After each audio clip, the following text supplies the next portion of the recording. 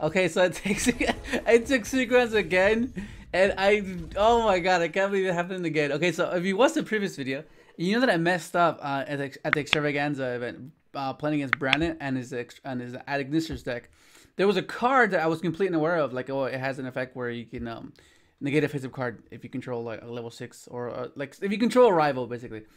And then I was like, okay, I know I'm not gonna fall into the same trap again. So okay, so there's five rounds of Swiss. Uh, my matchups were Tri Brigade, Dino, Drytron, Drytron, and what was the last one? And then top eight was uh, Sky Striker versus Mike. And then top four, I meet, I meet Brandon again in top four. He's playing his Ad Ignisters once again. so I'm like, okay, I know, I know what to do against this guy. I know exactly what to do. So then I, I win that. I go first. I do. Um, he he uh, he. I think he ashes me somewhere, and then he nibs me, uh, or I think he just nibs me. I can't remember.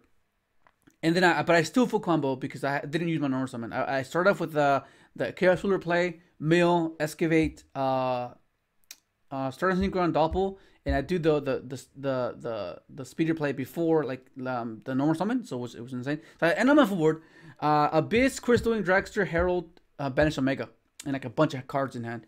So I pass, and then he top decks into droplets. I was like, oh my god, he's serious. So then he he he, he negates my three.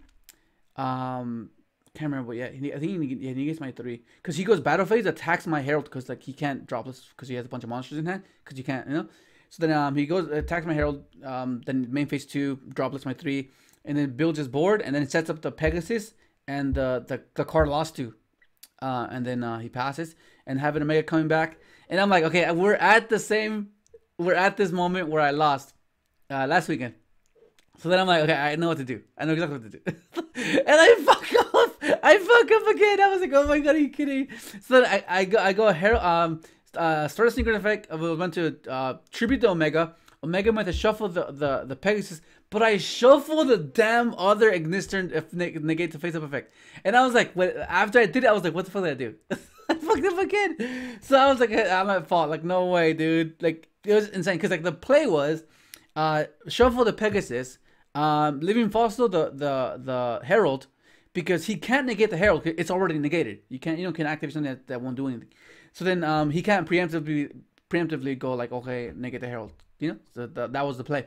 So then I was meant to revive the Herald with the Living Fossil, and then go Silent Warrior, pop, pop, pop, pop, and run over his guy and let there be that that basically be it. And I was like, oh my god, but I didn't do that.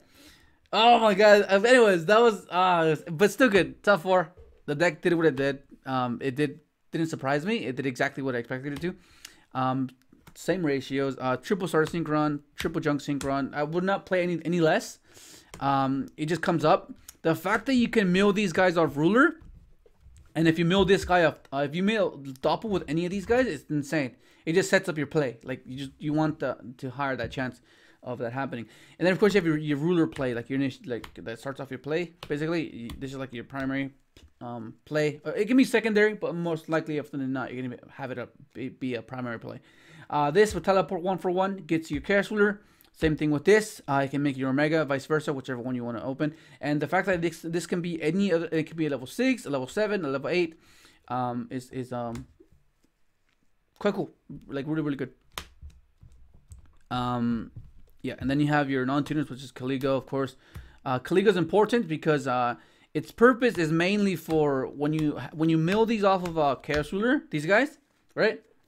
You go, you you you have access to these guys most likely.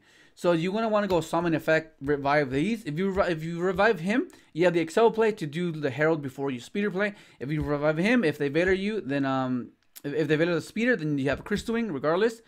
But if it if if they don't want to be in that situation, they just Veiler this, right? Because then if when that happens, you go special this, make speeder anyway. So it, it punishes them for doing the right play, but it, that's what I mean. It, it makes it really obscure. And then of course you have your one ofs, like you just have to play them. Like you can't go there's no ifs or but around it. You just have to I drew this card so many freaking times, dude. So many freaking times. It was annoying. I was like, my god, like I don't want to draw you, man. Like it was so bad. Like it, ah, it was so annoying. Like what the heck? Yeah, assault mode, Stardust Trail, Fire Ant, Cyber Synchro. Uh, still not missing carrier. carrier. I think the deck's fine without carrier. And then of course you have your hand traps. Um, you can argue that you don't have to play this, um, because it's just like you know uh, you, you'd be fine with this because it's light. You can add off of a cash But the dynamic that you can do with uh with the, the with uh with any matchup is is outplaying your opponent, like ashing at the wrong time when they least expect it. It can throw them off. You know, I can throw them off like and be like, oh, what the heck? When you ash, when you Veiler something that could be ashed, they're like, oh, they don't have ash. And then you ash another card, it's like, oh, what the heck? Like it, it makes it really weird. And that little um, the little outplay um sequence is, is quite cool. Um, and the fact that you can revive these on living fossil and do your XL play without having to normal summon is uh, insane. Like it's really really good. Uh, then of course you have your spells, uh, tuning, tuning just consistency. It gets you like the fact the amount of times I go tuning and mill a level two is insane. Uh, sneaker overtake, perfect. This card's a perfect. This card's perfect. This card's, this card's perfect. It's exactly what the deck needed. Special normal. The the level twos is is crazy. And like if you go, a lot of times what happens is you can go overtake um special junk and then special Caligo and then go speeder. If they do anything there, okay, that's fine. Summon junk, bring back the Caligo, um, and then um, make your um your your doppel play live, and it's like it's just really good. Then Living Fossil is the same purpose as Caligo. Like most of the time, they want to stop the junk summon, and um, then you okay, it's fine. Bring back the target you run to bring back, and then go speeder. Or it gives you a secondary play where you can go like uh like this. Like you can go um let's say you go this. Let's let's say that this this happens because this this does happen. You go uh, summon special. You go speeder right, and then uh if the Veiler imperm ash whatever then that's fine. Uh, then you go okay let's try it again. Uh, bring back this, make Chaos Ruler, and then Chaos Ruler gives you a secondary um play where you can potentially mill this and uh, and this, and then you you just do your do your XL play, which is um which is huge. That's why Living Fossil is amazing. And bringing back Herald is uh is quite important as well because in the grind game because there are times where you get in these weird grind games and you can go okay uh bring back uh, herald you know and just have it becomes a negate basically and then of course you have your teleport and your one for one um the good thing about these is that since you since you play the hand trap route uh you can deplete your hand and you can have the the the chances of drawing into like a one or two card combo to capitalize um after you've hindered your opponent like let's say you top deck this after you like double Veilered and Ash impermed, then you can go like, okay, top like this, uh, go into the. Chaos Ruler filters, it, it could potentially mill your Doppel, this, this, this, and just, it, it'll just get you back in the game. It just, it's just a consistency card, basically. And that's why you can get away with uh, playing that many hand traps, because you have these cards. Because like, all you need is two cards to, to, to combo off, which is uh really nice. Um, your one-ofs, of course, oh, the one-ofs over here quite crucial one of Rhoda, Illumination, Monster Born, one for one. Like they're just perfect. Just pretty cool. Um, yeah, this is basically to deal with Apollousa because um if you like if you go against Tri Brigade and you only open up one, don't bother. Don't just don't bother using it. Just let them get Apollousa, let them get the revolt. Just save this for the Apollousa for your turn. Because a lot of times what happens is they're gonna go uh, when you go um into uh, the Dawnwalker, they're gonna go Apollousa, you just chain this and negate the Imperm. And you can play around one revolt. One revolt's fine. Like if they open up strike, revolt, and like Imperm, okay, fair enough. Like what you know what's gonna play through that? Like just it's it's already enough about as it is. Um, then of course you have your your side deck. Uh, three Chaos Ruler, uh, three Twin Twister, uh, Duster reboot. This is when you go second, and then of course you have your when you go first. You have your your your Imperial Order, Triple Judgment, Triple Strike. Um, yeah, this is very simplistic. The moment you go first, it's like, and and if it resolves, if your combo resolves and you go first and you draw into this, it's insane. Because there's some t- all times where I would like I would not open as great, and I would just like set solemn, set this, set this. I opened this quite a, in the last uh, few rounds when it was crucial. I opened this one. I was like, oh wow. I, I guess it was like like the karma where I op- opened up the fire ant, so it just switched the one ofs. Like, like okay, I guess I guess I'm getting like rewarded for opening the, the damn fire ant so much. And then um because there was times where like I w- I wouldn't go for the casual play because I was playing around Nibiru, so I would just go I'll, I'll have like this and like this and like an ash or something or like a like imperm, and I'll just make an omega and I'll just control with omega omega banish set set, and then the following turn um do the push because I can you know, like if I didn't use my strike, I can stop the nib, stop an ash type of thing. Um, but yeah, that was that was That was pretty cool. And a lot of you don't know. Uh, been asking me about how to side deck. Well, it, it varies from from from matchup to matchup, right? Because like sometimes you prefer Sprike over this, um, but then the, the one thing you could do is you can side out these cards because the more interactions you you have, the better it is for you. Because the deck you have so many three ofs that you can already open them, you know, so that consistency is there.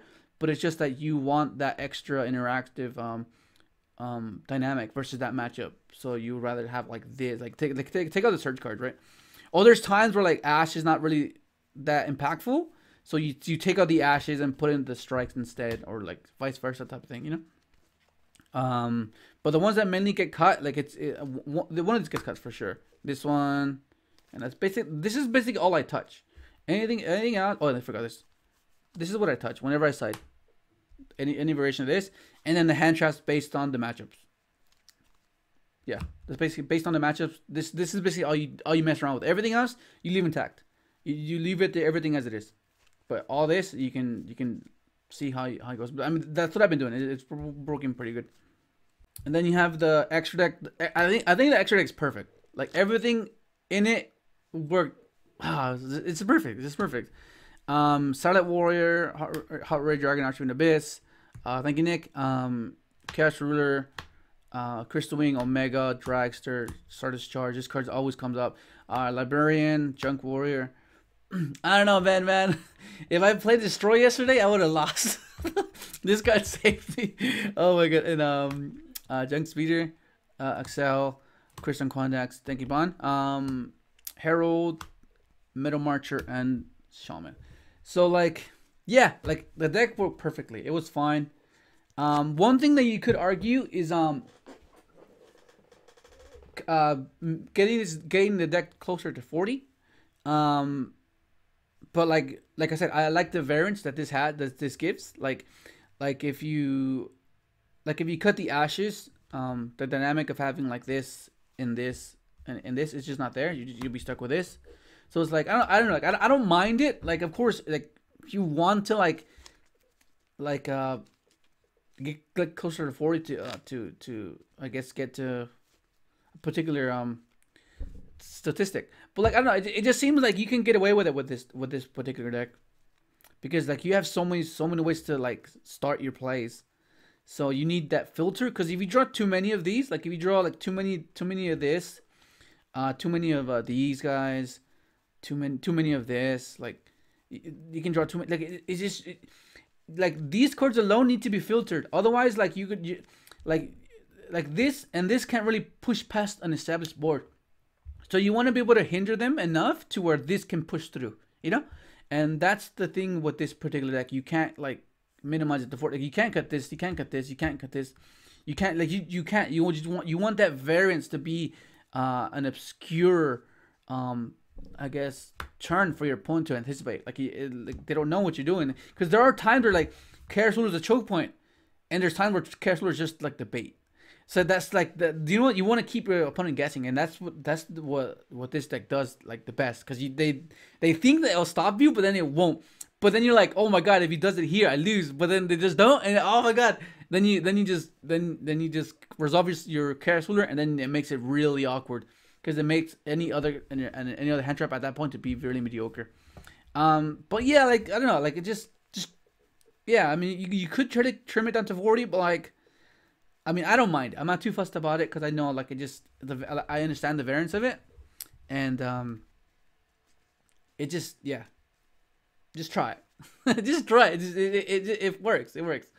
Um, but anyways, um, that's gonna be it. Hopefully, enjoyed the video. like, subscribe if you haven't, and thanks for watching.